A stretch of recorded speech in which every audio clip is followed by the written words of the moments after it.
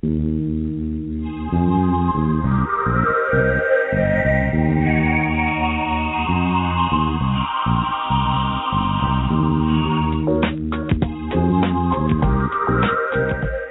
to Just Energy Radio with your host, naturopath and medical intuitive, Dr. Rita Louise.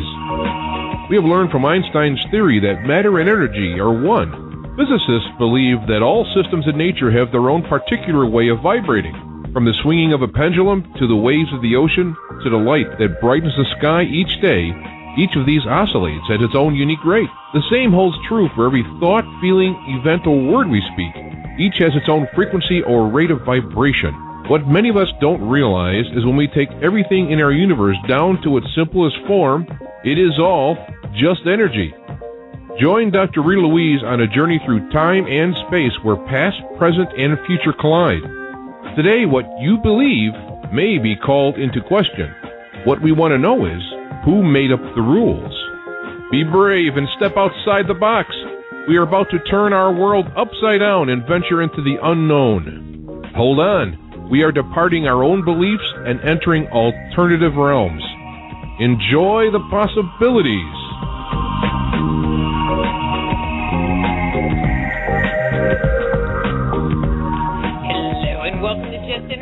I'm your host, Dr. Rita Louise, and thank you all for tuning into the show today.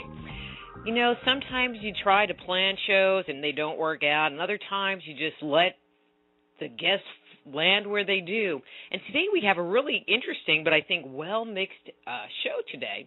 In the first hour, we're going to be speaking with Nancy Red Star about the wisdom of our star ancestors. And in the second hour, we're going to be speaking with Lynn Andrews, uh, Ancient Teachings for a Modern World.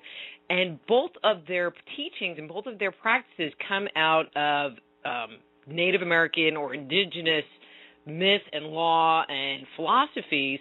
And so I think it kind of ties the show together in a web that binds them. Pretty cool, I think. Totally unplanned on my part.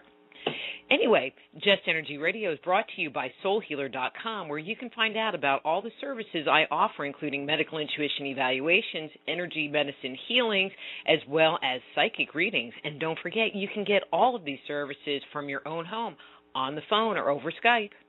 It's also brought to you by the Institute of Applied Energetics. That's www.appliedenergeticsinstitute.com. Please do check out the Just Energy Radio website where you can find out about all the guests we have coming up. Um, that's www.justenergyradio.com. Uh, you can sign up for our newsletter as well as check out our over five and a half years of archives, all for free.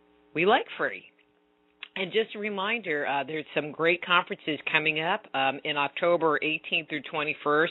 The one that I am personally very excited about, which I will be at, not speaking, unfortunately, but we'll be at doing session work and hanging out with everybody, is the Paradigm Symposium being held in Minneapolis, Minnesota.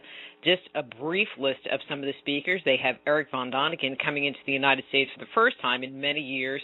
Giorgio Tsoukalos, you know, the guy with the hair from Ancient Aliens. Philip Coppens. Bill Birnes from uh, UFO Hunter lots and lots and lots of people. Check out their website, uh, paradigmsymposium.com, and get more information.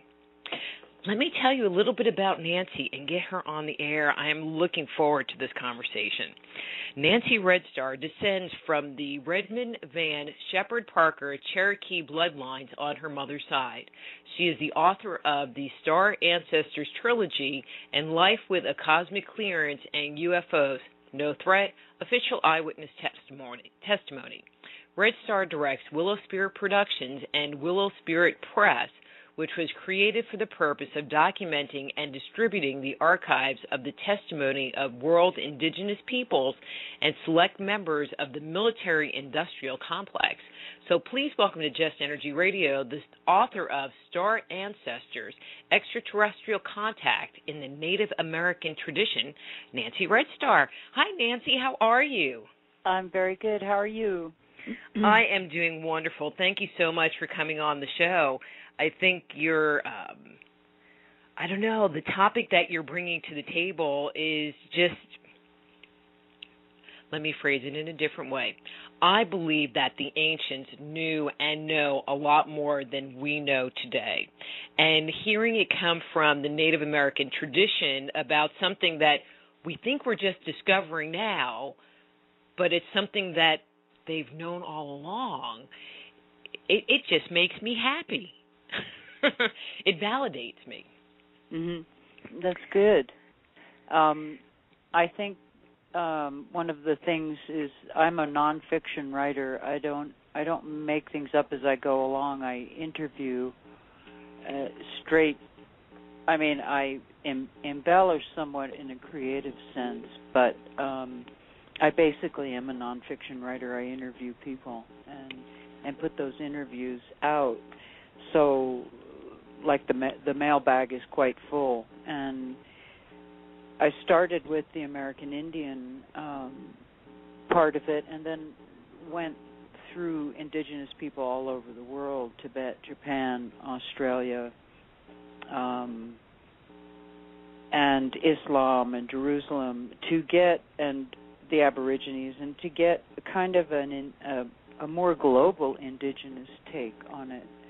Um, went down into South America, Central America, and and I've been working on a documentary based on those interviews for the last few few years. It takes a long time to complete a film.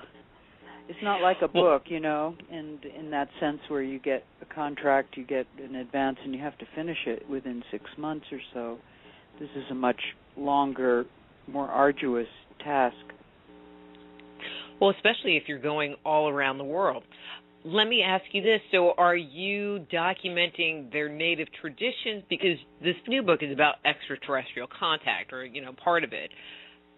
Is well, all that of my part books, that you're bringing to the table? Yeah, all of my books um, are about this subject. Um, the first three in the Star Ancestors trilogy um, is American Indian and World Indigenous, and then the third one is American Indian again, which hasn't come out yet. Um, the other ones are some of the members of the Disclosure. Well, was one member of the Disclosure Project, and then the other two. I went back into the Disclosure Project and interviewed the people that I thought had integrity um, and that I liked, and um, that's a two-part book. And then I added other people who were not in that project in there. So it's pretty comprehensive study. Um, of indigenous and and I I felt that the military industrial complex um, was very interesting and also that there might be some comparative um, feelings um, between the two seeing that all of them are blacklisted. Everybody's blacklisted pretty much. I mean up until the disclosure project and even the the best some of the greatest guys pa- ended up passing on because they were quite old, you know.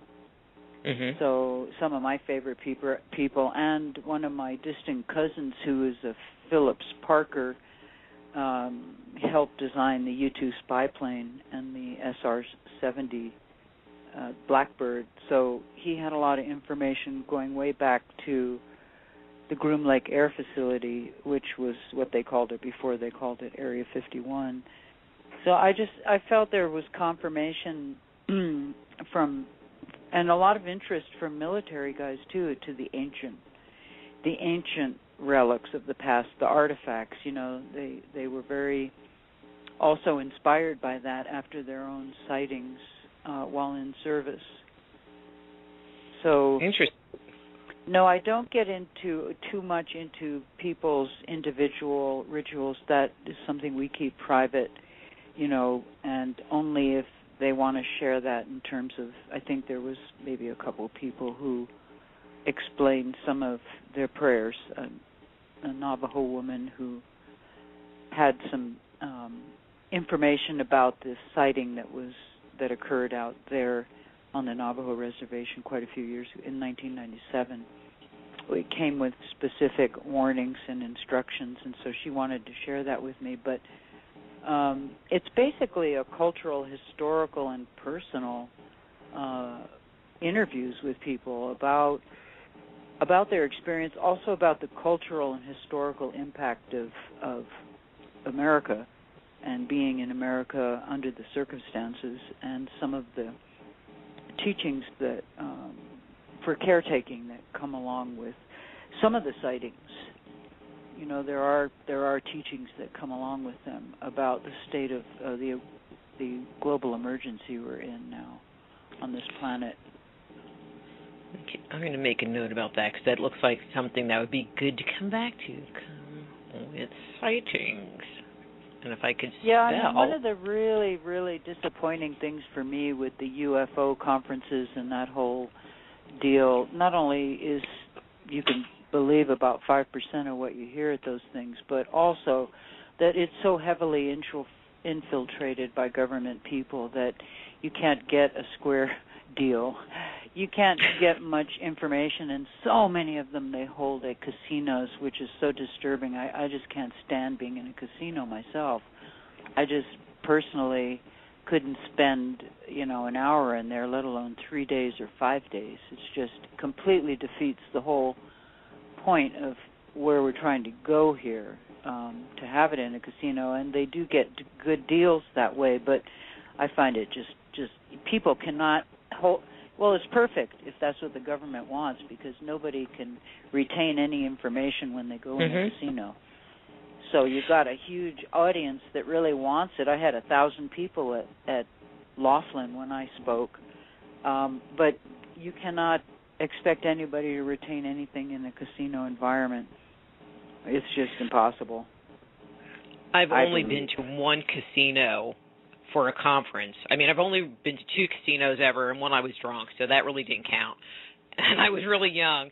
But I went to another one, and it was a medical intuition. Actually, it was an alternative health conference that I spoke at, oh. and it was the most uncomfortable Horrible. place to be because you couldn't ground the space, you couldn't ground yourself. No. And when I'm infiltrated yeah. with that much energy, just walking through the hallways and walking oh. from where you ate to where the conference was and then back to your room, I like had to put my little eh, blinders on. Oh, it's just horrible. Like, I'm glad you agree. No, bad, bad, bad, bad, bad. I know, and the, you know they're spiritually bankrupt those places. So if you if you have any spiritual consciousness at all, the minute you walk in there, you're completely zapped, and um, you know I just I I can't do that. I, I just can't do it. So the venue here, you have some of the most important information in the world coming through, um, possibly and in a location where nobody can retain or concentrate and people are walking around you know in a in the matrix mind control matrix. yeah. yeah well that's what they want so i don't know. I, I i kind of gave up doing conferences and went into film because i just felt like if if i'm going to put this before people who aren't reading that would prefer to see it in film then it's going to be a very beautiful experience you know that's what i been attempting to do, and it is a beautiful film. It just it's all timing. It's almost done.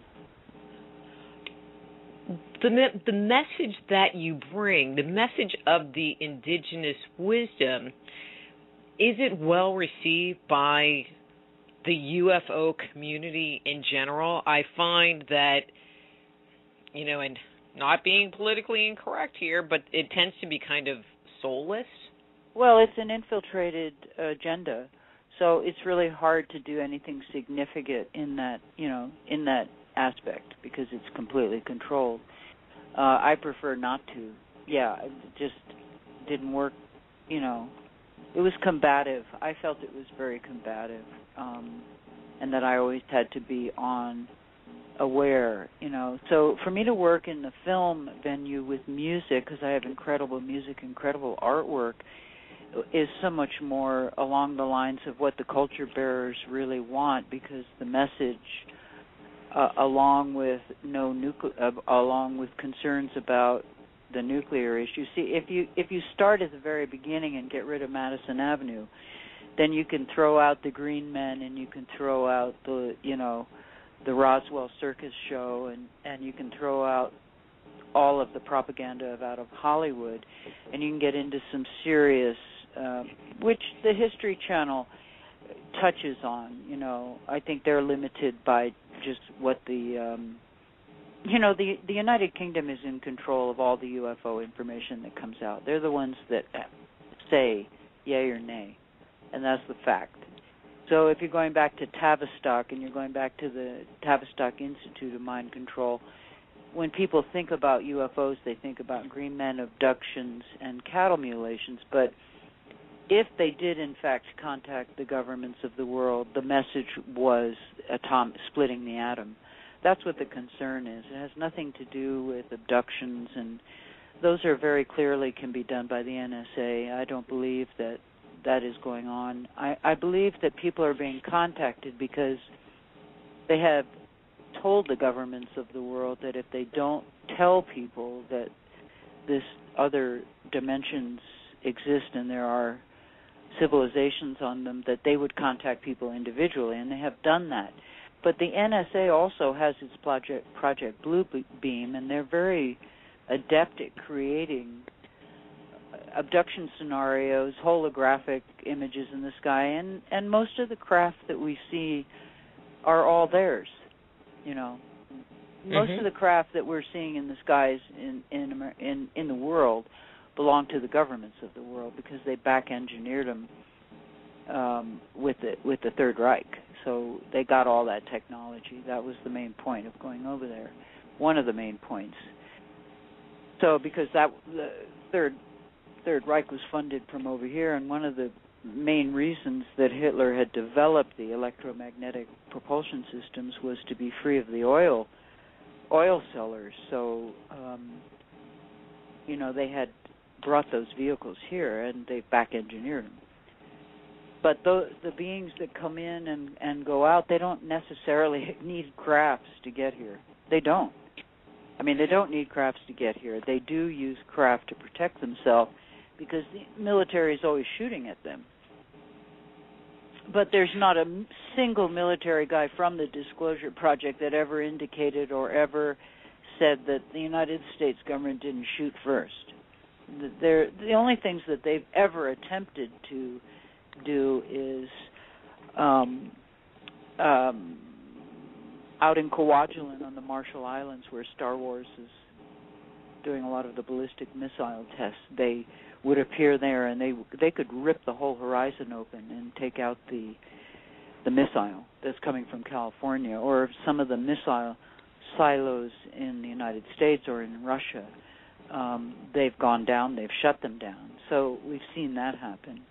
We've seen them stop them from exploding nuclear devices on the moon. So there are things that they will do.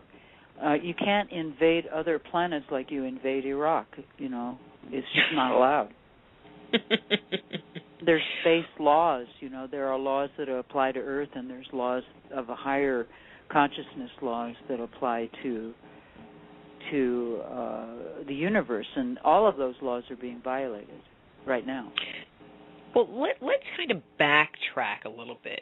When we're talking about extraterrestrial, are we talking about beings from a different planet who have come here, even if it was sometime in our remote past, that has had interactions with humanity? Are we talking about interdimensional beings? Are we talking well, about what are we what are we talking about? Well, we're talking about both of that, and we're also talking about a a you know for Indian people we mm, always talk about emerging through other worlds that were destroyed four worlds before this one, and so now we're emerging into another one, and this one is is is is disappearing before our very eyes, and the laws that apply to planet Earth and the laws that apply to space are being violated by those the other controlling forces. So we're we're in a a, a battle, you know. We're in a battle here, and it, it is has a spiritual hierarchy to it I'm and I'm not saying that there's not duality in nature. Maybe there are some, you know, unappealing beings out there, but I, I've never concentrated on that. So um we're speaking about beings that also live inside of the earth. The earth is we're mm-hmm. living on the porch of of a world that is inside, that is hollow. The the the earth is hollow and there's entrance on either end which has been kept from humanity. And so that that also is a reality that is interdimensional, you know. Mhm.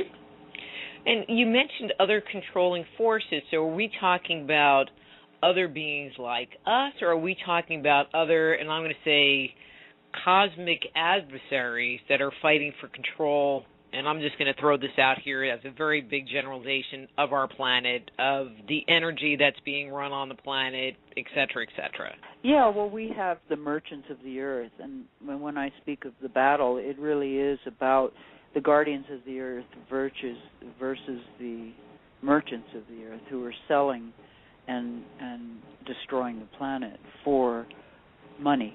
You know, the ultimate goal for money and power because there's probably they don't need any more money. But within that itself is a battle that that is a repeat of a battle, say, that has occurred eh, eh, before because we've been through mm-hmm. four worlds. So it's about evolution. It's really about our evolution. And there's some that want us to evolve and there's some that don't. Because once we evolve into the next world, we will have made a major um, threshold. We will have crossed a major threshold because those those that go into the next world won't be going in with M16s. It's not going to be that kind of a world. So um, we would have to give up this this bloodlust for power and and war and territory and and and Earth's um, attributes, which are being raped and that's what's happening right now. It's just mm-hmm. they're squeezing everything out of her that they can get, every last, you know, natural resource wherever it is. They're going for broke. So I mean, we can see it in Africa, we see it in the Middle East, we see it here. You know, mm-hmm. uh, in the, the ocean, you know, ocean. in in everywhere. In the Gulf of Mexico, that whole area is just destroyed for a and the reason why is because it's going to be a biodiesel algae farm so they wanted to kill it and that's what they're going to be growing out of it diesel through algae I'll, I'll bet you I'll bet you you'll see that if, if you know in your lifetime if they continue the way they're going but we also have the earth changing and we also have you know, Mother Earth, who is beginning to stand up here, and mm-hmm. there's things that are going to happen that, that that nobody can control um, to purify uh, herself. So, are you saying Mother Earth is just getting a little irritated with us? Well, no, I mean, you you know, she's getting cancer is what's happening, and so mm-hmm. she is going to the Earth. The Ring of Fire is very very active the whole the whole way the geography of the planet is going to change. There's continents going to rise and continents going to go down, and we're seeing the beginning of it. You know, with the dormant volcanoes in California going off in in preparation for um, a nat- natural events along the Ring of Fire. Uh, the whole thing is is just in, in ramping up the um, volume. Mm-hmm. And there's a group of us that monitor it, and so we're keeping, you know, steady daily uh, account of what's happening on the Ring of Fire. So we're going to see, yes, the whole geography is going to change, more like what Edgar Cayce prophesied is is coming to our doorstep. So that time now is to prepare for, you know, a period of the grid may go down. You know, we have these solar flares that are just incredible right now the explosions on the sun and it's going to continue because that's what the Mayan calendar is about. It's about the sun.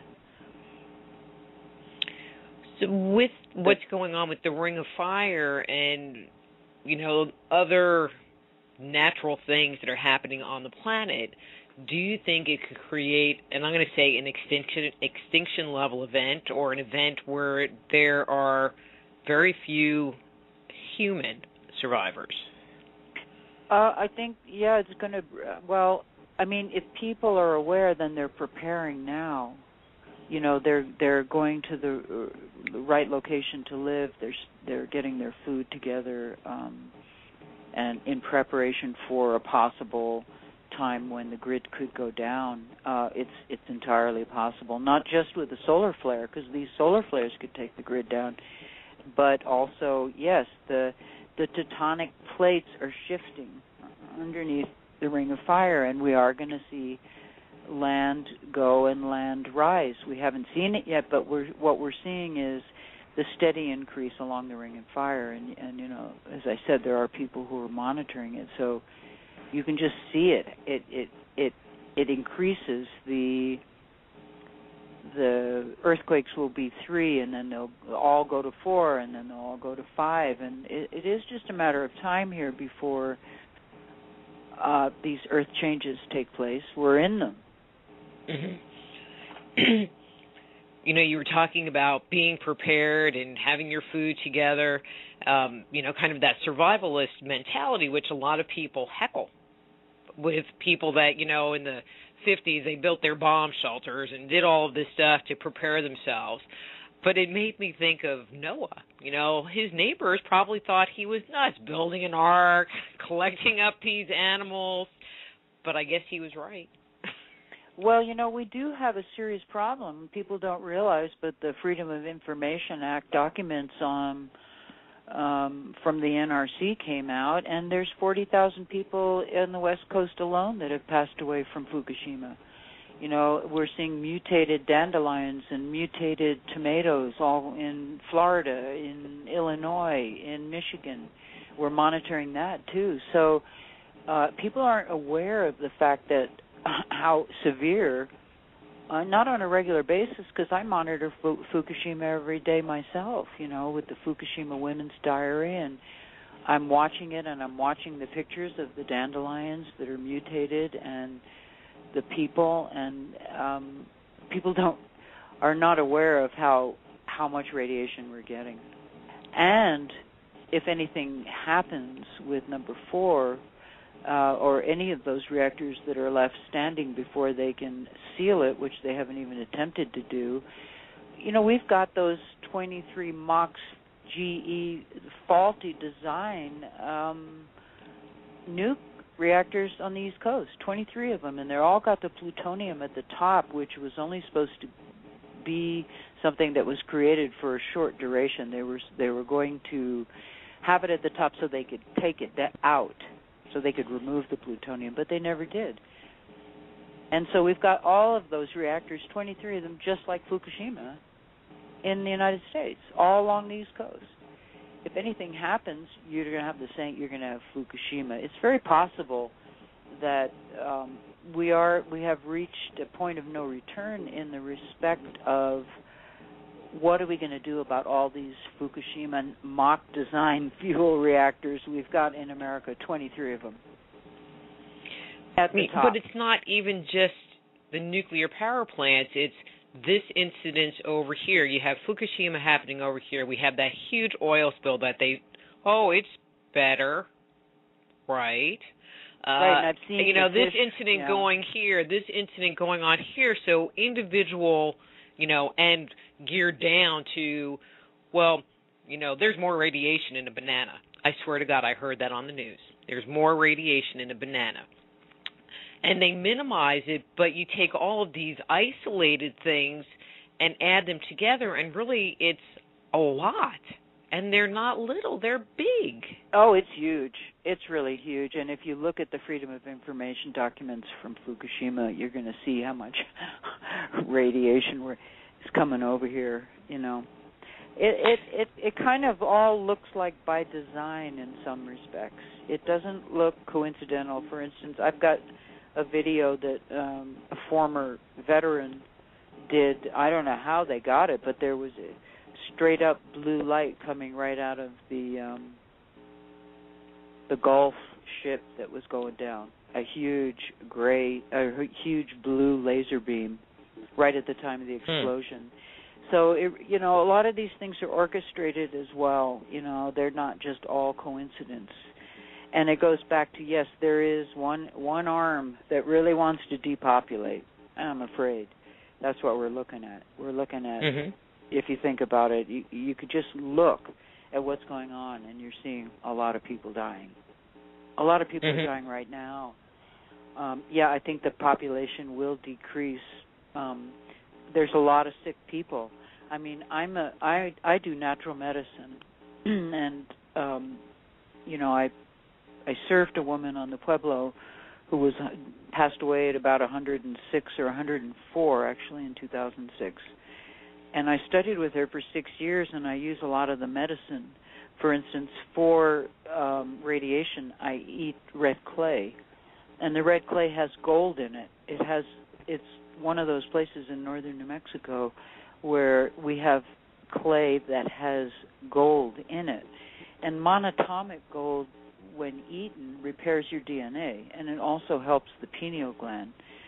So we're actually ascending into a higher abilities through the pineal system, through the gifts that we that we are one of the only humanoids that actually has this pineal system.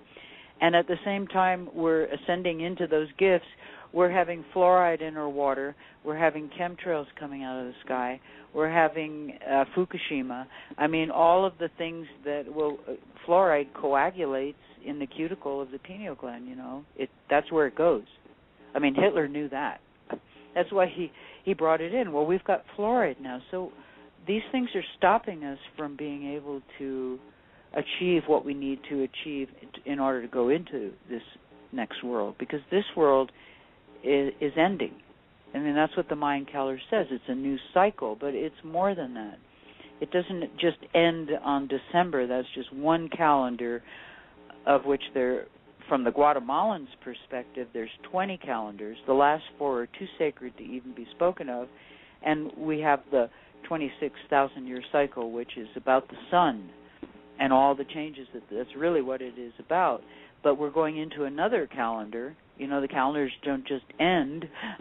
There's another calendar after this calendar that everybody's speaking of, and so and that that's been distressed by Madison Avenue completely because it really is about Venus and it really is about the sun. And then there's another calendar we go right into. So you see, there's the Maya in in uh, in Quintana Roo. There's 32 calendars in their system. There's no one system for the Maya and, and I'm going to kind of totally shift gears here for a second because you mentioned this a little earlier and you mentioned something similar again where you made the comment about uh, there are some calendars that are too sacred to even discuss. And then you made a comment earlier about there are many individuals that won't share their ritual. Why is it so important? This is something that has always confused me. I, I don't know what the right word is. Why is it so important for indigenous people to hold that wisdom so close to the vest versus sharing it? Well, and, and it's not just indigenous. It's you know you find that in ancient tradition, the priesthood and the you know the sects that keep the sacred wisdom. Well, you've got two things going on at one time. Um, you've got you've got the shake and bake and the and the gypsy stew uh whereby people come and they take a little of this a little of hinduism a little buddhism a little native american you know and make it into a soup. And that is not accepted. The indian traditions are laws. They're not just rituals and ceremonies. They are laws that take years and years and years to be able to earn uh, uh, your position within the community. And and some people want it, and some people don't want that position. But it's a gift. It's not for everyone, and there's certain people that are gifted, or it comes through the family. But those laws mean years and years of initiation. I mean, whereby you may have to go underground for 18 months now you get somebody come along and they say, "Well, I'm going to take a little of this. Oh, I, I like that. I want that. Oh, but I really like that too." oh, I like what they're doing over here, and then you get this whole pie with all these different pieces in it, and it's just scrambled eggs. And people don't know what they're doing, and the ceremonies are being abused. They're being commer- commercialized, and there are shake and bake medicine men too, who, you know, who are in the act of putting their hand out for cash to get it. So, yes, you have a corruption. That's the main problem right now on the planet is corruption of the mind. So the mm-hmm. ceremonies have to be protected. That in some ways they're never going to be public because they're not for everyone. It's a system, it's a clan system. You grow up in it, you get initiated. It takes years. But unfortunately, people come and they think, "Well, I'll just get a pipe and then I'll sm- I'll be a pipe carrier, or then I'll go I'll have a lodge." Drum. You know, so you get a yeah you get the shake and bake re- gypsy stew which is really a problem it's really a problem to keep the ceremony and ritual from being contaminated to keep it pure it has a very specific laws they're really hmm. strict i mean i you know you you have to know the community and know people within the community and to know how strict it is and so, yes, they're laws, and they can't be broken. They can't be stolen. They can't be uh, commercialized. Um, what happens is harm comes to the people who do that. You know, they can try and do that, but so, yes, it's eventually. I think once we get through this, I think it, everything will be for everyone, and maybe there will be just one language or just one way or just one practice. You know, we will we'll all be united. But right now in order for those ceremonies to do the purposes that they have to do, they mm-hmm. have to be like that. I mean, like the Kogi, the mamas, they're in prayer 24 hours a day. I mean, they stay in there praying from for Mother Earth. You know, they they're the custodian of a certain part of the organs of Mother Earth. Each the organs are distributed throughout the whole planet. So you have the heart, the lungs, the kidney, everything. And there are certain people who stay in prayer just to keep that balance.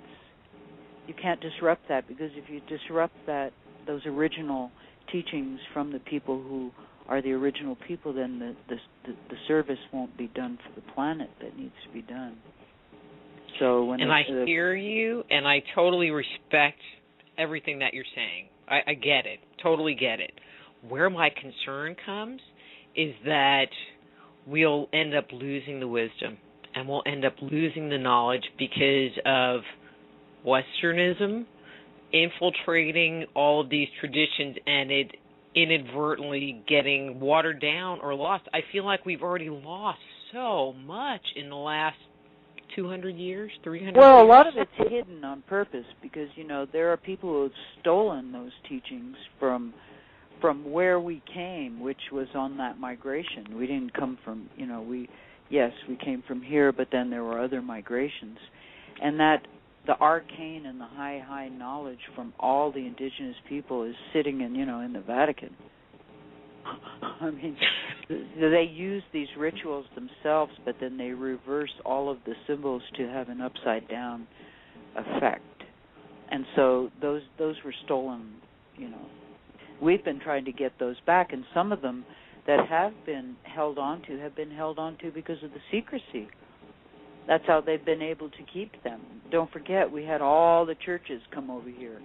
All the churches, you know, come to the pueblos. All the churches go up to Hopi. All the Mormons go over to Zuni. You've got the whole tribal councils are becoming completely Mormon in many places. So that's how we're losing it we're losing it by that more so than we are um, anything. Mhm. And, and like I said, that's the part that concerns me. Yeah, well, it is. It is a problem, but I really think sometimes it's beyond uh, our power to to change that. That it will be changed by a power, you know, greater than ourselves. Mm-hmm. That will that will be changed. I believe that it will be changed, and and everything will be revealed, but not now. We're still in the cannibalism period.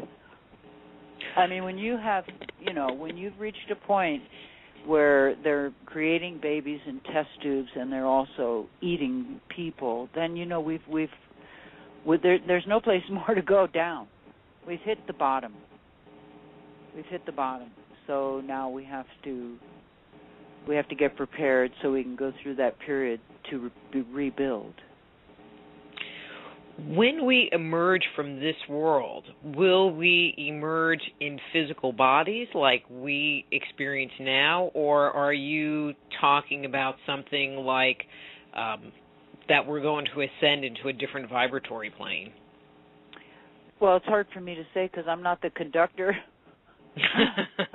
I wish I knew. Um, I think that we will have to go inside of, you know, we will have to go back as we emerged from another world. We'll have to go.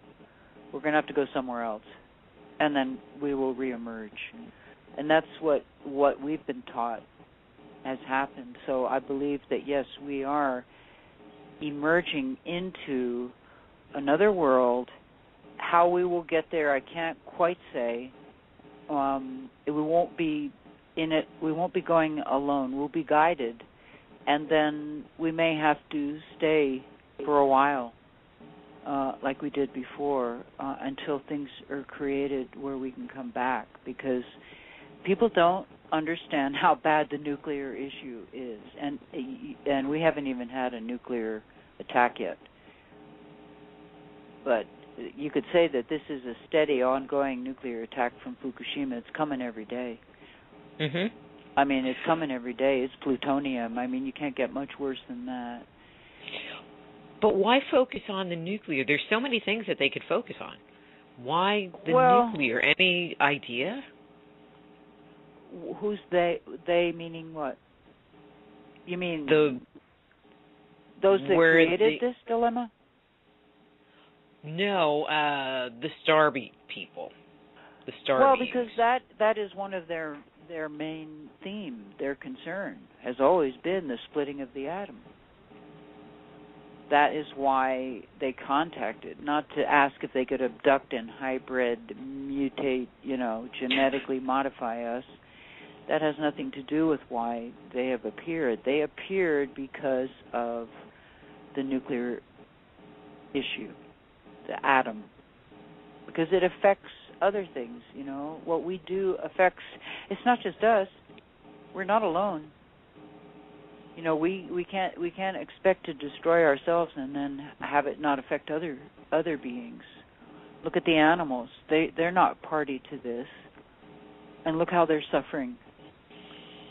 You know so there's other life in other places that uh, affected can be affected by what we do. Mm-hmm. Good point. Good point.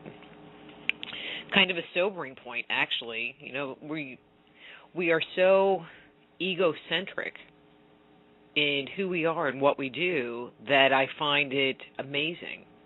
You know, that we don't take a step back and go, well, what impact are we having on ourselves, on other people, on our planet? Well, I think a lot of people are asking that question, but we've got some insane leaders.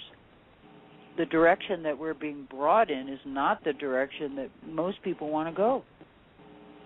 Unfortunately, we don't have a say. We don't seem to have much say so anymore.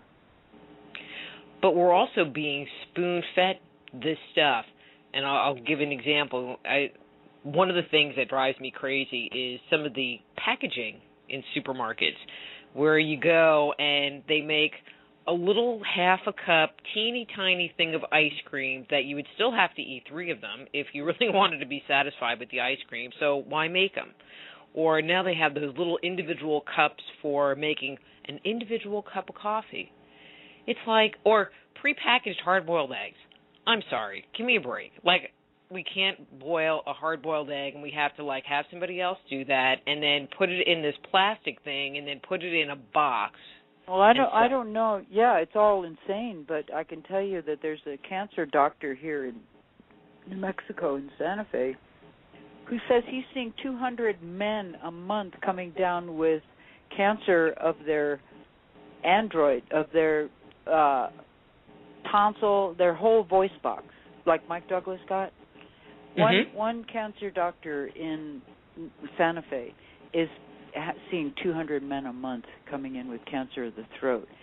Now, what's that from? Well, the cell phone. The cell Mm. phones.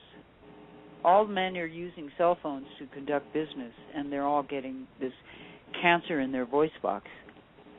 You know, like the things that they're giving us are killing us. So Mhm. you got to stop. You just got to stop.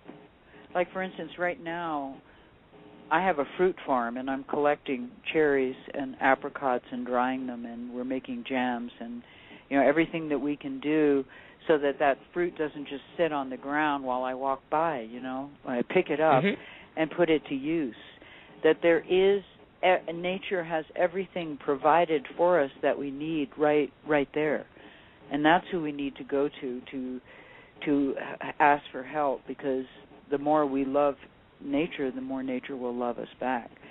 You know, I went out in the middle of the snowstorm at about midnight and 11 with a broom and I was running around my farm trying to get the snow off because I want fruit. It's been 3 years since I had apricots. And now I've got more apricots than I knew. But I went out there in the middle of the night when it was snowing to get the snow off the leaves in April so my trees would bring fruit and I've got so much apricots. So I've got apricots, I've got cherries, I've got pears, I've got two kinds of plums, three kinds of apples. I have um choke cherries and you know plenty of vitamin C from the rose hips that I collect and I you know I try to I'm trying to make use of everything around me that grows naturally to eat this winter, you know because I'm expecting things are going to get more difficult, and that food is going to get worse. You can't eat that food. You can't eat the food No. anymore. It's very, very well, I mean, you can't eat the food anymore, and even if you cook your own food, I mean, we don't really buy prepackaged food. Okay, if my husband had his choice, he would, but I don't let him, uh, except for emergency situations. Yeah. Uh, but even if you cook your own food and try to eat a balanced diet, you know, like the way Grandma used to make, which I think is a good base place to start. yeah. Um, even what you're getting in the supermarkets is junk. oh, you can't. I know. You have to have a farmer's market, or you have to grow. I So- mean, you yeah, I know. It's. I don't buy stuff in the. I don't buy my food there anymore. See, I live in Dallas, and there's one kind of farmers market. Do you have an Kind of. organic food place though? Yeah, yeah, Yeah. but um, but even that, it's still not even local. Not a lot of it. They still Yeah, I know. bust it in, you know. So anyway, I'm looking at the clock. Well, this might be kind of a really loaded question, but it was something that I was interested in asking you because one of the things that I know that comes out of indigenous traditions is, um, you know, in the mythology, uh, people went to live underground during the transition. It's well, not depending really on which mythology though. It's Uh, not really mythology. You know, it's considered mythology in a It's Western oral mind. tradition. It's oral Okay. tradition. Uh, You know, it's not written because it was passed down. But it's not. and I and I, I I believe that our mythology, or and I'm going to use that word, is our history. Period. okay, like the power. You know what I mean? myth. So in yeah. Um but I think, you know, most people will see it that way. But I mean, I believe that everybody can't be nuts in these stories that they tell because everybody tells the same story. That's a miracle. Uh but one of the things that I found fascinating that came most specifically out of uh, Hopi and Navajo cultures was the whole concept of going underground or living underground with the ant people. And one of the things that I've heard from other people when they talk about that tradition um, or that history is that they associate the ant people with the Greys. And since you come out of the UFO world, what do you associate them with the Greys, or do you think they're just pulling stuff out of their butt? Well, which the Greys to me are just on reconnaissance. You know, they are just um they are just sent forward to just exactly like what reconnaissance does to scope out and uh um like scouts. They're like scout interpreters but they are not the hierarchy of who's sending them. You know whether they're they were created or whether they are also evolving like on my book star ancestors that one gray is actually playing the flute uh, people think that that was the Kokopelli, but the Kokopelli is carrying seeds, not carrying flutes. And and so because that's what he's about. It's it's that's what's really has to be preserved is our seeds because we really do need to to be able to replant after all this crappy food. So um he may be going through an evolution as well because he's playing the flute. Maybe he has he's he's uh, attaining some kind of emotion. You know, maybe that's why mm-hmm. he can play the flute because he's actually getting feelings. But that that's just the representative for the more highly the ones that we don't see as much because they're more luminous. They're so, more who like, would you say was in charge? Well, a a um, a more highly evolved, more humanoid looking um, being beings. Yes, they're definitely more more humanoid looking. But they will appear to people in the form of something they can understand. Okay, to the Mayas they might appear as uh, you know a particular deity, or to the Hopi they may appear to, or to the Zuni they may appear in the Kachina, or you know, but they actually appear so that people aren't afraid of them to, in, in the form of something they can relate to. So, put another way, they're shapeshifting. Exactly. Well, they're the ultimate shapeshifters. yeah, I mean they so are these the, old... guys the good guys, or are these the bad manipulators? I don't know about God. the bad ones. I never had any.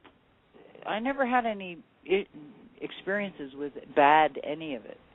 Okay. Yeah, I've never had that, so I I don't really know what that's all about. But that's all you hear about. 90% of what you hear about is the boogeyman. Well, the boogeyman in Cherokee you know that word boogeyman you know where that comes from? It Mm-mm. comes from the cherokee the Tsalagis it comes from something that was called a booger mask. And it was something that the medicine men wore when they did a cure. So here's a perfect example how they take the knowledge and flip it upside down. The booger mask was the booger man and he would come in and cure you of your illness if you were really sick and he wore a mask that came off a tree, you know, like a false face mask. Mm-hmm. Well, okay, he became the boogeyman. And who is the boogeyman? Well, the boogeyman is a bad guy. He's a really bad guy. Let's face it. Uh, any way you cut it, the boogeyman is, you know, is no good. Well, that's why because they took the the thing that's good and they reverse it like 666 was 999. 999 is the indigenous high, high numbers, you know, and then they turned it around and make it into 666. So the Bible's really just a code book for them. Mm-hmm. Their code book. Well, that's something that I've always uh, put out there was that you know there's the whole thing God and the devil and Satan and you know, the book of Revelation. And I, you know, my thought is, and I do believe that there have been multiple worlds, you know, lots of fighting, was that the bad guys, the guys that controlled the earth, lived in the earth, something associated with the earth, and it's a little difficult um, from an outsider looking at this wisdom to identify, but they've always been uh, vilified. It's like the sky people good, them Earth people not so good. Yeah, well, look at the the the savage. I mean, who was it? You know, I mean, up to 300 years ago, the royal family was e- still eating people and look, at they call savages Ew. Indians. No, I don't think so. You know, so they take the knowledge. No, for they- real, they were eating people. Yeah, yeah. There's a new book out actually by a guy who's a a writer from the UK. Uh, they ate people. Yeah. 300 years ago, the royal family was actually eating people. So yes, you just Google it. 300 years ago, maybe you'll find the book. So yeah, they make the indigenous people who were very naive and very innocent and very beautiful hearted people into they vilified them mostly they first they use hollywood like a film like mine i could never get it out in hollywood there's no way because Mhm. it goes against the message that they want to send that they're sending so i have to literally launch it in another country and then maybe bring it over back here like jimi hendrix did because not only are Indians blacklisted from national television, um, Indians and UFOs isn't going to get very far either. I'm surprised I even even with a even with a gag order on me on the History Channel and Ancient Aliens, I, I was surprised I even got to get on there. But come on, Native Americans didn't even discover America. Please. that was Columbus. right. Ask anybody; they'll tell you. Yeah, I know. I know. People don't even realize that Thanksgiving, the day of Thanksgiving, that was a massacre. 800 women and children were murdered, you know, in Connecticut on that day. And then they had a celebration, so now we call it Thanksgiving. You know, the thing but is I'll tell it was. I'll, I'll- make the assumption it wasn't the European people were massacred. No, it was the Yeah. So the whole thing has to be redone. It's it's all based on fabrication and dishonesty, and uh, it won't last. And the whole thing will have to be, you know, the only reason they don't let American Indians on national television is they'd have to start rewriting all the history books, and they know that. You let too many Indian people talk on national television, and then all the history books go down the tube. They've been all you know, the first name of the Republican Party was the Red Man. Oh, really? yes. you know, my husband and I have had several conversations about the whole Columbus, uh, American Indian saga. And I'm like, I don't understand why they don't give native populations the credit. You know, why they just don't let that go. And he goes, because it comes down to ownership. And so if Spain came and claimed ownership, if they say that Columbus didn't discover America, then they would give up their claim, thus their ownership, and it gets into this whole big thing of property rights and property. And I was like, oh, I mean, Well, there's like may this whole other bigger agenda. Yeah, he may have something there. Plus the fact that um Columbus um was a was from the Jewish ghetto. He wasn't Spanish, he wasn't Italian either. He was from a Jewish ghetto and and and the Vatican chose him. So he really was working for the Vatican. It's the Vatican.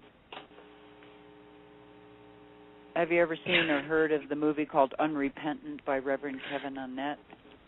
No, no, No, I'm you gonna have should check to check that out. You should check that out and maybe have him on. It's the story of what the churches did in Canada, the Canadian Holocaust that is hidden from history. And then you see how the churches operate. It's all about the churches, you know, and then I, that's a whole nother show. That is, we- that's a huge show.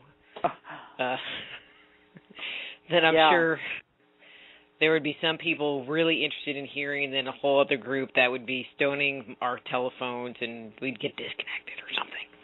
Something uh, bad. right, right, yeah. well, people can go to my YouTube channel and they can yes, please. Go go see the history of the IG Farben chemist, who, you know, where he comes from. Nancy, we, we we're out of time. So where can people get information about you, Oh. get your book, that kind of stuff, real quick? Okay, well they can go, you know, to my website, which is nancyredstar.com, or they can go. I'm on Facebook, and I'm uh, under Nancy Red Star and under Star Ancestors, and they can go to YouTube, and I'm there as Nancy Red Star as well. So that's pretty much it for now. Well, that's a lot. Yeah. I have a lot to take in and process. Well, it's thank been a you, great thank interview. You, thank you for coming on. You were wonderful. I I I'm like wanting to so pick your brain more. But anyway, not today. So You're awake. That's really good. It's so great to have an awake radio host. Thank you. Thank you. Thank you. All right. All right, that was Nancy Red Star. Her book is Star Ancestors Extraterrestrial Contact in the Native American Tradition. And we'll be back with Lynn Andrews after these words from our sponsors. Just Energy Radio with your host, Dr. Rita Louise, will return right after these messages.